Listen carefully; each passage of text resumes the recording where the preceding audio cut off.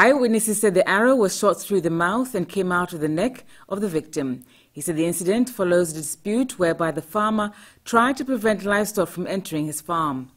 Sasa katika kelele zile kuja kupiga kelele, ikabidi huyu mheshimiwa naye atoke. In hearing yells, we went out and others came to help remove them.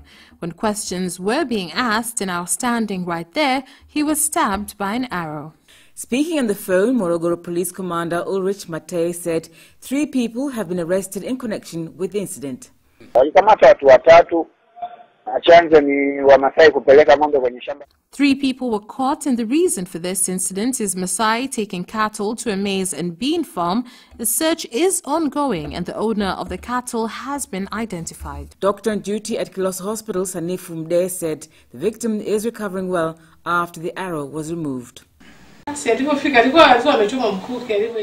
At around 1, we found the patient, called the doctor on call, and he was given an injection taken to ward number 2. Later, when all procedures were dealt with, I was called to bring him to Morogoro referral. These incidents occur often in the conflict between Maasai and farmers.